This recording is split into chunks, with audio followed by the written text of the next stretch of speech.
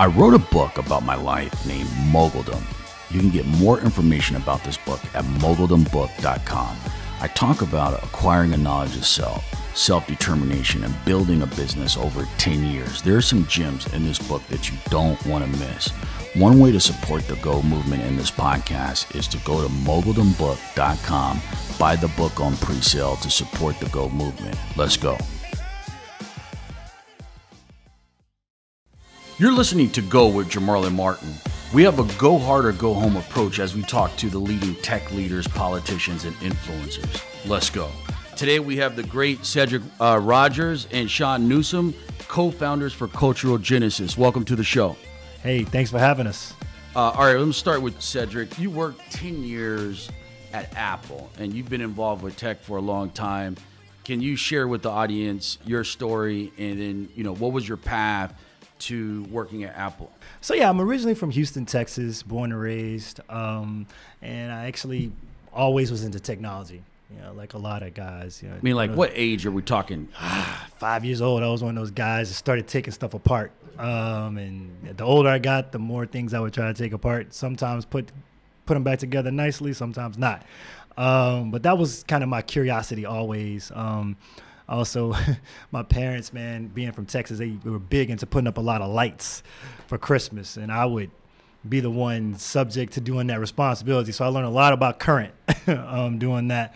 And so that's kind of really got my curiosity around electricity and then went from there to rf so i really started being more into hardware remote control cars all this kind of stuff and computers of course uh, really got me on my way into like knew i knew very very early i wanted to be an electrical engineer completely yeah. At what age are you talking? I probably knew around 12, 13 years old. Yeah. There's like, yeah, I'm going to, I'm definitely going to be an engineer. That was, that was it. So it was very, very clear that was what I wanted to study in school. And so um, I had the opportunity. I went to a prep school in Houston, but then I had the opportunity to kind of really see what was out there.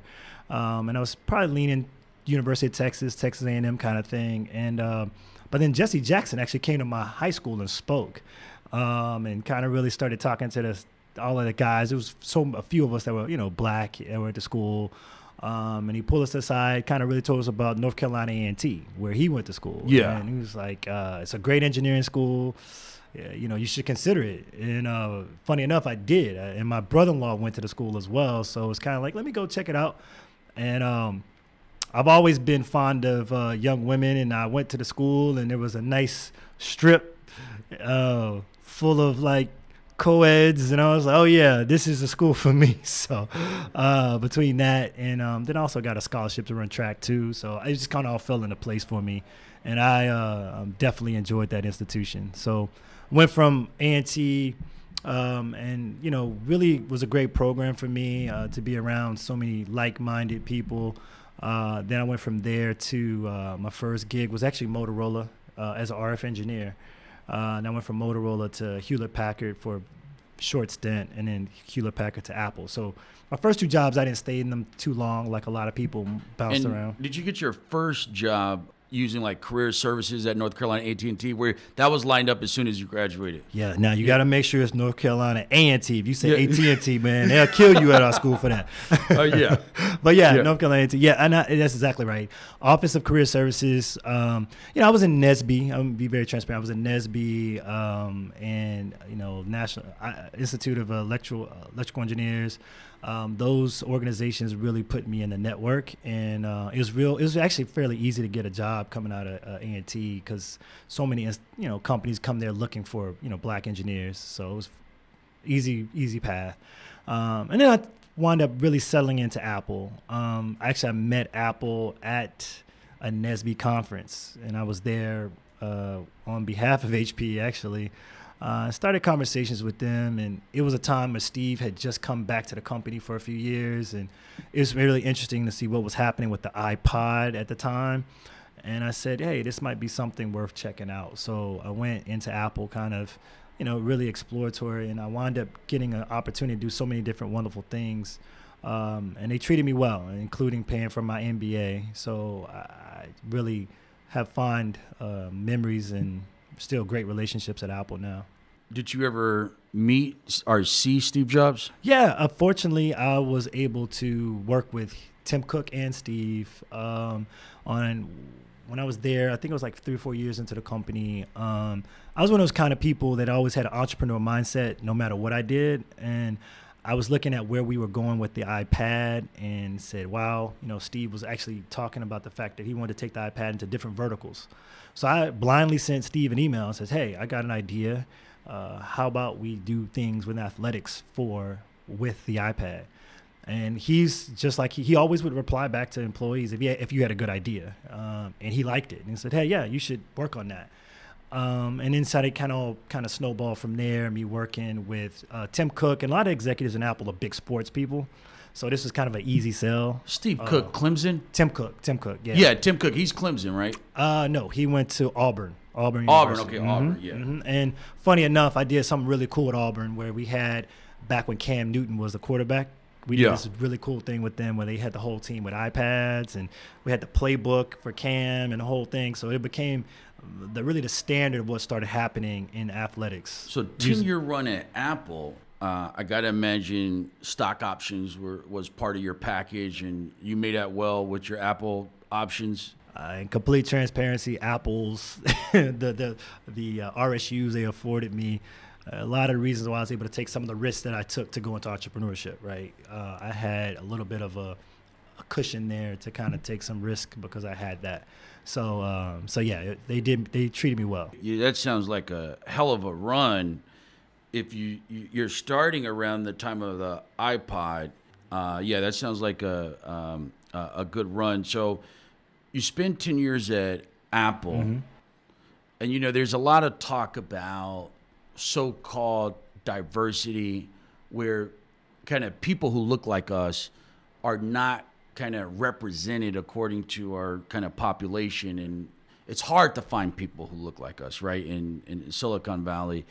Uh, what was your experience there in terms of your interaction with the kind of environment out there? Yeah i mean honestly when i walked, went into apple early it was very very few people of color there. Um, a lot of asian americans white americans you know working in a company where me walking in uh, the whole time I was there, I could probably count on my hand how many people of color I would see. I mean, wow, early. you talking about ten years? Like, yeah. man, I don't see us showing up. I don't. I don't not really at all. But what what wound up happening is Apple made more investment into Apple retail, and you started seeing them actually go deeper that way they realized that they needed to have, you know, a workforce that represented the people they wanted to serve. And so you started seeing in Apple retail division more and more people of color coming uh, of all and gender too. Um, and Denise Young Smith, who's no longer there, she was one of my mentors. She was head of HR for Apple Retail under Ron Johnson and she did a wonderful job of really uh, even working with me to do some things, you know, to really recruit people um, into the organization and she then became head of HR for all of Apple for a period of time as well, since she recently left. So she was kind of to me a catalyst, someone that a lot of people may or may not know of. But Denise Young Smith, she went to Grambling University, aka you know from Grambling University, and so she really got it and did a lot to cultivate culture that I felt that was not there when I first started. My first job out of uh, Morehouse with a political science degree was at uh, McKinsey and Company, and I worked in a low-level job. And I remember I didn't see people who looked like us, with the exception of the mail room. Okay, yeah. so in the McKinsey mail room, it was right. pretty deep. They got a lot of mail in the Atlanta right. office coming through. Right. So when we talk about the numbers, uh, the so-called diversity numbers that these tech companies print, in Apple's case, they may print a number uh, where they include the lower wage retail, mm-hmm, mm-hmm. and that may make up ninety percent of us. Yeah. Just like McKinsey, they may report in terms of employees, but they're not disclosing that. Hey, seventy percent of those employees are retail. They work in our mailroom. So how important is it for kind of more detail to come out when these tech companies are being forced in some cases are voluntarily sharing their uh, employment numbers by race? I, I look at it um, a two or three fold. One, starting with Apple, I will say before Steve passed, I was doing a lot out of Atlanta actually. Um, and we even were able to bring Morehouse and Spelman out to to Apple for executive briefings and do a lot to try to expose the company to the folks in Apple because a lot of it is it's like a lack of education and, and knowledge about what the potential is. And um, I think what was interesting was that we wound up having a professor out of Spelman who actually made such an impression upon Steve that he actually brought him out to do a sabbatical for six months at Apple.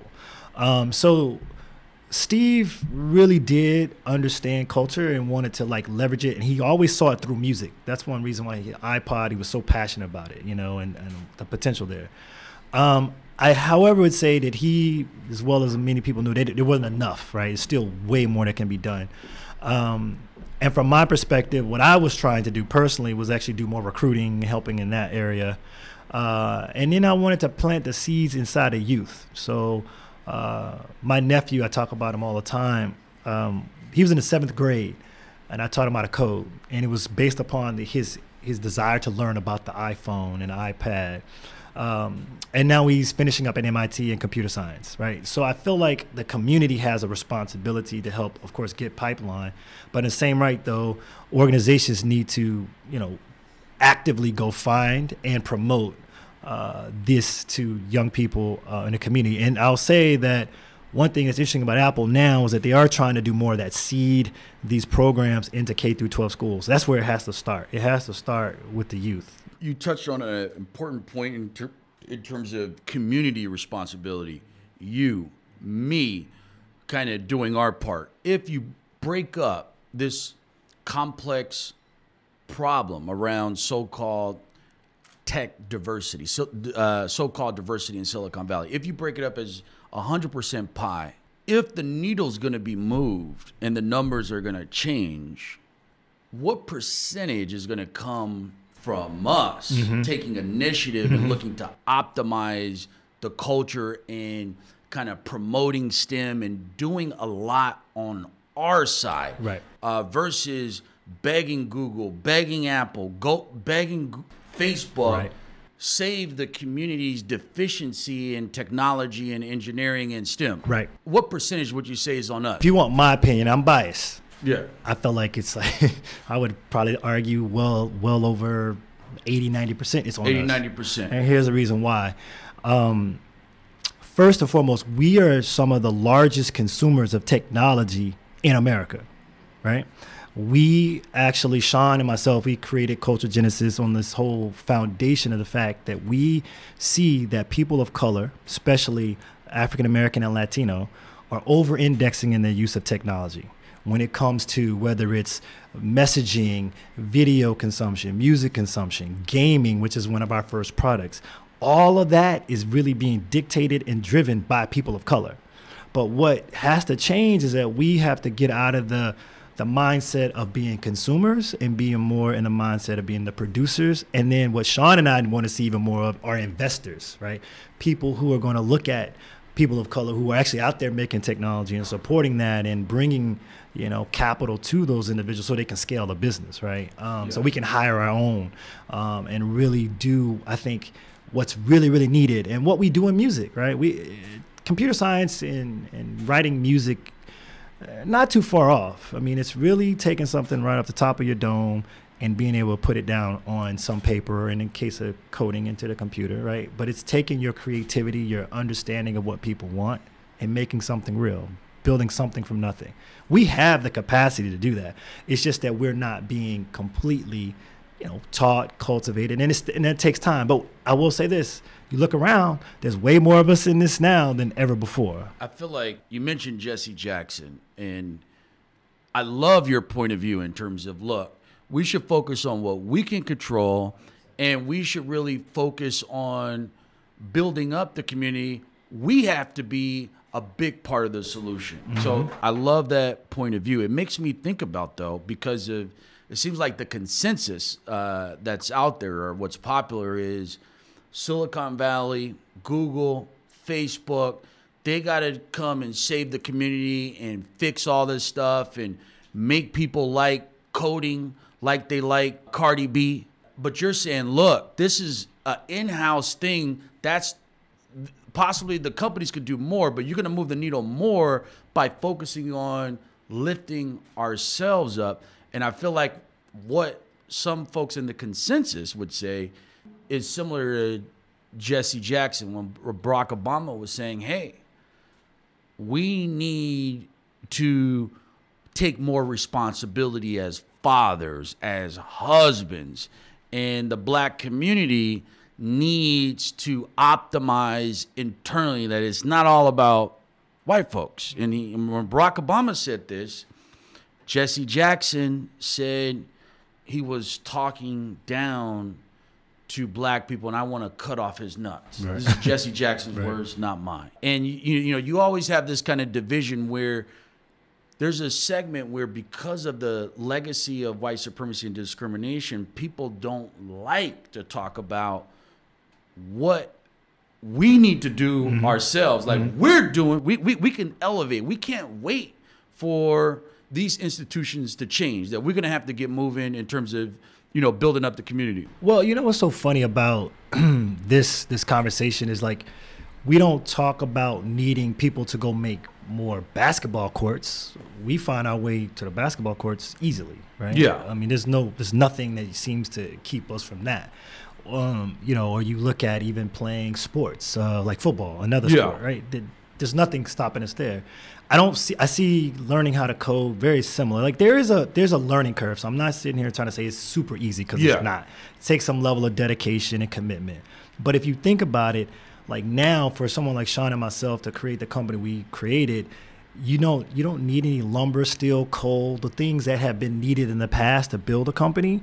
Those things are like not needed. You can take your time and really come from the top of your dome, literally, to create things. And I think that's the power that we have today.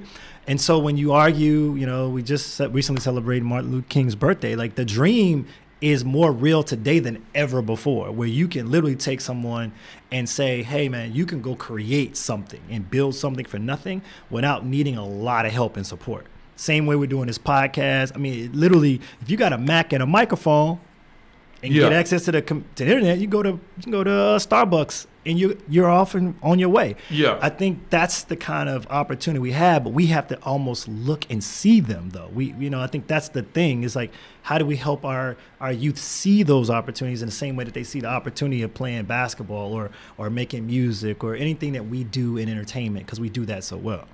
You leave Apple. Talk about your path to starting Culture Genesis and what you guys do. Wow. Um, so yeah, my leaving Apple, I I've created two ventures prior to the one that I've been able to co-found with Shaun. Um, I did a first one. It was really based on my passion. I want to help youth, uh, really around some of this scenario of inspiring youth to find to find their You're passions. not waiting for Facebook or Google to come save. nah, you're going in. Nah, you want to be the Superman. I'm hands on. I'm hands on. I'm a am a solutions minded person. Yeah. You know, um, so literally the first venture. I created. It was a platform. Um, did it with a couple of former um, Apple employees as well. Um, you know, it was a lot of lessons I had to learn about scaling a startup there. Um, but it did get some traction and it had a lot of support from youth organizations like Boys and Girls Club, et cetera, starting out of Atlanta. Uh, then I had the the fortunate opportunity to work with Paul Judge, who you may uh, have yeah, run across, uh, Dr. Paul Judge. Uh, so we co-founded another venture called um, Look Live, and we went through Y Combinator. Um, and it's part of the uh, summer 16 batch. So that was a wonderful opportunity for me to learn a lot from Paul. Um, and also to learn a lot through YC's process of how to build and scale startups. And uh, so then I went on to wanted to really come to LA and get kind of really into this ecosystem. So and um, I came here, and a good friend of mutual friend of Shaun and myself, his name is uh, Rashawn Williams, another one of your Morehouse brothers, yeah. um, who is also my fraternity brother. And it's like, hey man, you know, uh, you and Shaun are two bright brothers that you know, might actually come up with something. So that was a few years ago. He introduced us, and and Shaun and I do we we really get along, and he's super creative and technical, and I feel like I'm fairly the same. Um, and so we've always been kind of like thinking about what we want to do next, and one of the core focuses for both of us was to really start to build something that we could then go hire other people like us to build. Um, and we wanted to build technology focusing on on the culture. And so uh, that's what we did. We went and um, we got our initial funding here in LA from Mucker Capital up the street down here here in Santa Monica. Uh, how much capital? Uh, so total, we don't always release our numbers Yeah. to tell you, but I mean, we've we've raised all, roughly a million already, and Okay. uh, things are going well for us to continue down that road. That road. So that was just pre-seed. So, um, you know, with that being the case, that we attracted capital from them, and then on subsequently to uh, BetaWorks over in uh, New York, um, and we were able to work with them, and part of their they have these camps that are around different technologies that are merging. And we ours is around the live streaming interactive space. So that's what we are focusing on. So uh, we've had a we've had a fairly good run so far. And it's we've been blessed to like ha- because of our experience to be able to have great conversations with investors and for them to make investment in us. And and I can't omit uh, one of our recent investments uh, from TI and Jason Geter uh, they have um, a group that they put together, a syndicate called uh, Tech Cipher, and they recently have made us an investment in us as well. So we've been able to attract uh, investors with many more that are very interested in continue to work with us. So. And I think a large, a large part of that is to do to Shaun's resume and myself and the team that we've been able to build. How do you get a guy like Ti interested? Like, how does that develop where you get him in the cap table? Yeah, that's a great question. I think um, you know I lived in Atlanta for a minute, you know, so I was able to, you know, I believe you want any authentic relationship that takes time, right, for people to see how you work and what you do and how you move. And um, so I, I ran across Jason Geter, who is Ti's co-founder for uh, Grand Hustle Records. Um, and Jason and I have known each other for probably about four or five years now, in out of Atlanta. And he just was able to see like how I moved and what we were working on. And uh, they actually came to us early to want us to help them on a project. I won't talk about because we may wind up doing it one day. Uh, we didn't do it right away, but they were able to see kind of Shaun and myself what we were working on, and they were like, "Yeah, I like what y'all are doing." So as we kind of moved on and started scaling the business and getting uh, capital, we stayed in contact with them, and they're like, "Yeah, we're interested in investing because I think with people like you know some of the folks like Ti and other you know I think celebrities who have made investments, some of them early on have made bad investments, frankly." And I think they were looking to make good investments and making an investment based on the founders. And I think that's what really helped us. Let's get Shaun in, involved. Can you explain the business model? The business model of Culture Gen is rooted in the vision of being able to create a platform for multicultural content creators to be able to, number one, monetize, you know, reach an audience in a very authentic way. So that's the core business model. When you when you when you take a step back and then you look at the audience, the the the, the Instagrams, the Facebooks, multicultural content creators are way undervalued compared to their counterparts. So that was the core reason, and that's the business model. The business is that we want to be able to have a platform that we own that's authentic to the demographic we're going after, the multicultural audience, black and brown. Uh, and so from a business and so from a business perspective, we see a real opportunity to leverage that and build digital, like digital apps that develop um, around that audience, engage that audience in very authentic ways, and then obviously, you know, from a cultural perspective, you know, hip hop, fashion is all being led by this exact same demographic. So um, naturally, those the you know the advertising dollars, brands, you know, big businesses, they, they're going to want to spend to, to attract those eyeballs. So that's our business model in a nutshell. Is one being able to create a platform for our content creators, uh, and two being able to like attract the eyeballs of advertisers that want to reach those reach that audience. So let's say you you hook up with a content creator. What happened? In the case of Trivia Mob, Trivia Mob was a show that you know me and Cedric conceptualized, uh, and it was uh, we took a fresh spin off of one of the more popular mobile apps that have launched in the last you know year, which is HQ Trivia, uh, which is the concept of interactive game shows that you can play a game show live on your phone with your friends, your coworkers, all at the same time. Uh, and we we decided to say, listen, let's take a fresh take on that uh, and kind of almost kind of a. If you remember 106 & Park, kind of looking at that same dynamic of male female, um, but like the male and female hosts would be like influencers uh, that people might follow already on social media, Instagram, Facebook, etc. Right, uh, and so we we work with them as hosts to host the show, uh, and the reason why the show is called Trivia Mob is because we activate their following. Their following is almost like a mob.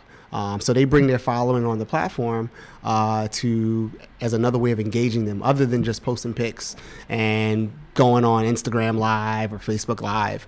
Uh, so they, they come to us because they want to be able to activate their following in a, a unique way to keep them more engaged. Uh, so they, so it, it's usually we number one they either come to us directly um, or through our existing hosts that refer them to us, uh, and then we kind of number one train them how to like actually host the show, uh, and then at that point we almost in a lot of ways we mostly like theme shows around their brand, so it feels really authentic when they come on. Do you hire a full time developer to create the trivia game, or are you contracting with another agency? How are you guys building that particular application? No, for sure. Yeah. So tech wise, we've built everything in house. Uh, so we have, you know, I myself as a CTO, um, Cedric being the CEO, um, but we've we've all worked together from a product perspective to conceptualize the product. Uh, we have an iOS developer and an Android developer on staff. So we've developed everything in house, uh, and we have a full production team that handles like the technical produ- technical production of the show for the mm. audience, mm. what's the range of cost all in to develop an, a mobile app like this? Can you share that, or it's yeah? I mean, I don't think this is in the mobile app space, especially a mobile app like this. It's it's not so much just the mobile app. There's also the process behind the mobile app, the way you deliver the content to the end user. Um, so it's it's a rolling cost, put it like that. Okay. Um, and tens of thousands of dollars to get it, to get it out. to, yeah, to get, to it, get out. it, out. Yeah, yeah, yeah. yeah. And hundred thousands of dollars. It's not a it's not a simple use case in in uh, uh, in kind of like technical terms. Um, you can imagine if you're in Miami and Cedric's in Atlanta and I'm in New York City, like we all have to be seeing the same thing, seeing the same data at the same exact time. Yeah. Um, and so there's technical challenges with the way just the internet works today the way your phones work. Um, so there's a lot of things you have to do to be able to deliver that experience at a high quality level, so that you can reach the most number of users. Because you don't want you don't you don't want to be getting the answer when Cedric's getting the question, and then you know it's not fair if you're trying to win some money here. You know, so and are are you guys marketing on Facebook and YouTube in terms of cost per download? No, so so this goes back to the whole content creator influencer model that we've taken. You know, we we've been completely organic. Um, we've worked with some kind of notable influencers um, to kick off the show, such as like I don't know if you're familiar with Melvin Gregg. He was a popular uh, Vine star that trans, um, you know, t- that that went to Instagram. Now he's also doing some Netflix shows. So we actually partnered with him because we saw the importance of social media, especially for the audience that we're going after, our demographic. Uh, and so uh, yeah, so we started there first. Uh, and you know that's the primary way that we drive eyeballs and downloads to the show um, is through our hosts promoting naturally um, to their followings, announcing that they're going to host the show. And how do you pay your influencer marketing partners? Like, is there? Yeah, yeah. I mean, we have a we have a, a simple structure in place that helps incentivize them. Um, but to be, you know, you know, they kind of do it because it's fun um, in a lot of ways. So the, the, most things that the show is a fun show, um, and also their their following, and their mob can win money. So they almost like bringing something new to the table for their people that already follow them. Uh, and then obviously we have incentives in, involved as well. And, and yeah. are the incentives based on how many downloads you get, or no, it's not traced to that? No, it's not even traced to. Yeah, yeah, we yeah. So we have. It, I don't want to go deep into that, but um, you know, we just there's incentives if they win versus another host wins. okay, got it. And so from where you guys are now, of course, you you, you raised uh, funding. How do you guys scale? Like, what are the next steps? Yeah, no, I mean, we scale with um, you know simply you know in traditional sense mobile apps, especially games, scaled, you know, with word of mouth. Um, you know, I think you know this is a very social app. Um, you can you can refer a friend, you know, to get an extra shot at winning the cash prize every week. Um, those type of things are like natural ways for us to scale. Um, but even bigger than that, as a business, you know, we see us, you know, um, scaling in a ways of also in, in, uh, in empowering other content um, providers or content studios, you know, production studios, platforms that want to also have interactive game shows. We're also going to scale from a tech perspective as well and offer our technology as a service to power other game shows. Let's go back to Cedric. As you know, uh, HBCUs uh, have been under a massive amount of financial pressure, including Morehouse. There's a sentiment in the community that we need to save the HBCUs. Uh, most recently, uh, there was a, a push to save Bennett. Yep. And so the consensus, let's call it the black establishment, they're like, hey, we got to save all the HBCUs. Right, right, right. And then on the other hand, you got companies out of Silicon Valley who are thinking about how do we design the next generation education systems that are technology oriented and more updated and that have a low amount of debt where we're preparing for the next generation that's going to knock out the old system that, that's loaded up with debt. So this is what what some of the uh, companies, of course, uh, uh, EDU tech companies, they're working on this in Silicon Valley, and then you have the the black pro HBCU establishment saying send millions of dollars and save all the HBCUs. Why is it problematic for the community to believe that we need to save all HBCU? Or do you think that's problematic? Yeah, I was gonna say, you know, uh, first and foremost, when you take a step back and think about education. So when I started with Apple, I started in education division, so I got a chance to really look at a lot of this. Education is a very intimate thing. People learn differently. You know, there's people who are definitely going to be more auditory learners and visual learners, and um, you know, people coming from different backgrounds are going to need maybe a little bit more than others. Um, and so for me, it's kind of a very you need different types of education offerings, quite frankly. Um, and I see HBCUs as a very interesting thing, uh, specifically because I have a niece who's at North Carolina A&T behind me. Uh, my nephew is at MIT, um, and my sister went to Texas, and I went to North Carolina A&T. So I'm gonna give you what I see. Sometimes, depending on who you are and what you need at the time that you're going into higher education, you might need that environment that is a little bit more nurturing than I have found at, say, an HBCU. Some, I mean, some people really need The that. environment is The high value. Is It's high, value. I mean, yeah. you, you're learning. Yeah, you're learning African American studies. Yeah, you're learning, you know, differential equations or whatever it is, physics. But then there's also like you're growing up, right? There, there's a whole nother thing going on, you know, Yeah. as you crossing this threshold of, you know, into adulthood.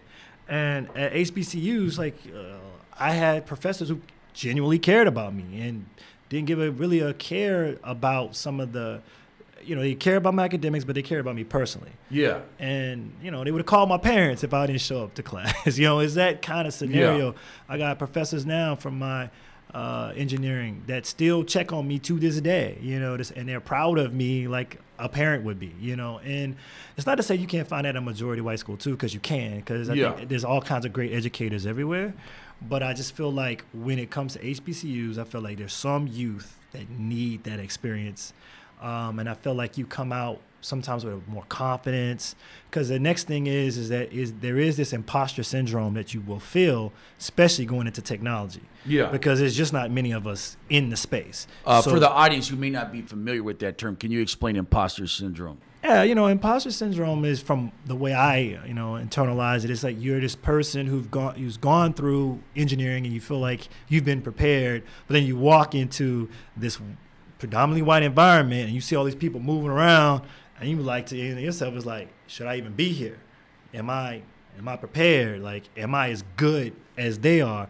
And you're doubting yourself because you don't know. And you may not have a mentor either to kind of tell you that really at the end of the day, when you take these these hard technical backgrounds, really no one knows, right? You, you, you're all still kind of figuring out. When Apple hires a brand new employee, they're still just trying to give them a chance to figure out. You know, it's just that the sometimes the environment is more conducive to for some people than others, and I think that's a big part of this. But when you sometimes go to HBCU though, and you're in NSBE, you got them people you can call up and like, yo, man, I'm at this. Like, how's it for you? And you can like have this like exchange that grounds you in a way that helps you like literally get your career started. And I think that's a, it's an, a very important thing for a lot of people. Not everyone needs it. Yeah. But there's still a strong group that, That- that does. yeah, those are uh, very important points.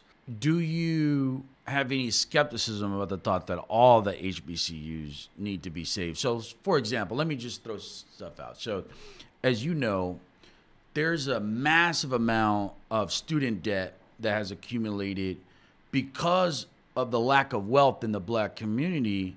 This student debt crisis, of course, disproportionately impacts us. So so we may go to HBCUs and, and, and get degrees, but because there's so much debt and you got to go in the workforce and be black too, uh, that, hey, you know, I learned so much from building with other brothers and sisters at HBCUs and that healthy, supportive environment. That stuff is high value. That helped make me to the person, right, or, or us uh, that we are today. However, because of the economics and the, the way the system is working now, can we rethink that experience and reimagine kind of possibly getting some of that kind of environmental cultural support stimulus without the debt? And so are we going to stick and go another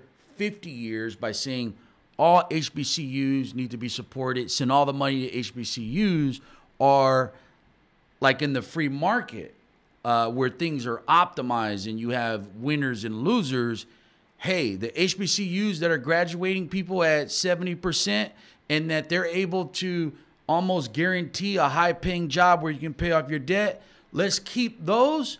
And you guys over here where the economics are so bad the graduation rates are so bad the debt is so bad the professional out salary outlook is so bad you guys are going to have to consolidate or shut down do you think that this stuff needs to be rationalized in terms of all these forces playing out or just hey we got to keep it going I'll, I'll say this. There's a lot of factors to what you said. I mean, a whole lot of factors, but you threw it.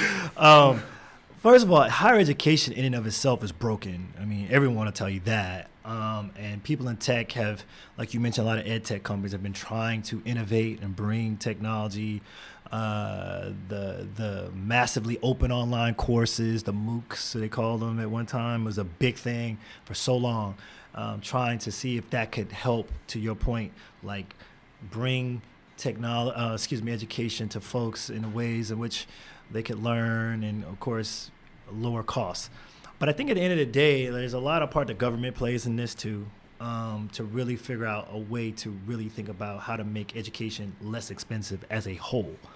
Um, I think when you go drilling down onto HBCUs, I'm very, very, very, very proud of my uh, alma mater, um, North Carolina A&T. They really have done a wonderful job um, of like really building the institution up. They really, really have. But it's a state institution, and it's one of the few engineering institutions in the state of North Carolina. So they're able to attract state dollars as well as private dollars from NASA. That's the model, like a Morgan State, they're getting- uh, yeah. they're getting a lot of funding there. So that is how any organization, whether it's a startup we're building or whatever, you have to have capital to really go invest into what you're doing. Otherwise, you can't attract the best professors. You can't have the facilities that students want to, you know, live, study, uh, and, and and dwell in. And so it's a very you know layered thing. So it's hard for me to blanketly say uh, agree or disagree with what you're saying, honestly, because I feel like there's so many levels to it. But I do feel like institutions do have to be held accountable, right? And they and the best the best people to hold them accountable are the people that go there, the students, the families, to say this is what we are looking for. Uh, our dollars are going towards, and I think that requires us once again, the community, be engaged in like, hey, why can't y'all be more like? In my case, I'm gonna say like North Carolina A&T. What are they doing that we're not doing at X institution? Um, I think that's some of the conversation, but you know, like I said, when it comes to HBCUs, that there may be a few out there that could use opportunity to find new leadership. I think that's one of the things I noticed Yeah. at HBCUs is oftentimes, if you notice, uh, they have a, a, a very a transient leadership. They don't keep sometimes leaders long enough. I think at one point Morehouse was really good at that, keeping leaders in place for a long period of time. But even Morehouse hit a spell where they started having Yeah, they had a little bit of transition, yeah. right? And so, you know, when that happens, it's hard to get momentum. It's hard for you know the private sector to trust you know the institution when they don't know and have a relationship with the leadership. Um, and I think that's a big part of what it takes to be successful. Um, so, you know, private institutions I think have a harder time than some of the publics. Like, you know, you think about FAMU, North Carolina A&T, some of those they get a lot of funding from state um, because they're doing some of the things that the state is, are needing. Uh, so to answer your question, I don't have a blanket answer to that one. I think that's a very tough one. Yeah. Uh, and I do think there's opportunity for improvement, but I, it was hard for me just to wipe them off. 'cause I love my HBCU. Quite Yeah. frankly. For the audience, one of the EDU tech companies I was referring to is called Lambda. Here's an overview of what Lambda does. Lambda School trains people online to be software engineers at no upfront cost. Uh, instead of paying tuition, students can agree to pay a percentage of their income after they're employed, and only if they're making more than 50K per year. If you don't find a job and don't reach that level of income, you don't have to pay Lambda anything. So the innovation that, that that's coming out around education, it's rationalizing, of course, college debt. Hey, you know, it's giving incentives where we're not just going to give you a fifty thousand dollar, a hundred thousand dollar degree. Don't even pay us if we don't help you be successful and make money and make this thing work. I just think that the HBCU establishment, we need a response to all these different forces uh, and kind of these new models with Lambda, where we're not just trying to patch up the Titanic. Some of these schools, things are changing fast. Uh, the problem is, is, is getting bigger and bigger in terms of economics and, and wages, particularly for us, that we got to kind of reimagine, reimagine this stuff. I agree with you. I mean, I think in America as a whole, people are a lot. A lot of people are afraid of what's happening in technology, worried about robots, worried about this.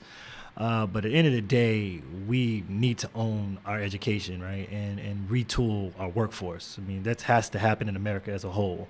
Um, but then when you I always sometimes would say, like, of course, when America catches a cold, Black America catches pneumonia, right? Yeah. And um, so that, to your point, means that this this acceleration of education, understanding technology as one uh, focus is is paramount. I look at something like Lambda. I'm not as familiar. Shaun nodded at me that he's familiar. Um, I think it's one of those things, though. I bet you that's more like a startup company than anything else, well funded Yeah. um, by those who are coming from Silicon Valley. There's people, including Steve Jobs' wife. She's throwing a lot of capital um, at trying to find ways to innovate in education. Yeah. And I think, like a lot of other things in life, that's not being made available to our community, right? So our community has to think about: is there, first of all, a format that makes sense, and who's going to invest in it?